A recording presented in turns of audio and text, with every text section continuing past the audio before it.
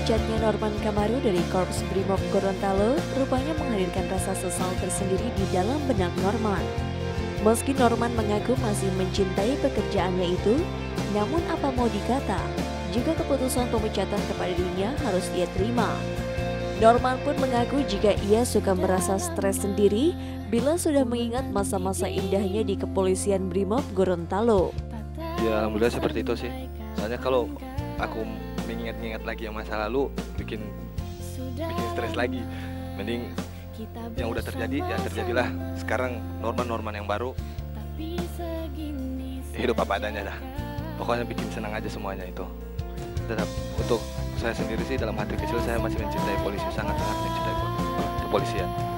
Walau mengaku begitu mencintai pekerjaannya sebagai polisi, tapi Norman menunjukkan sikap berbedanya. Kenyamanan dan ambisi dirinya untuk berada di dunia hiburan sepertinya mengalahkan kecintaan Norman pada pekerjaannya yang begitu mulia.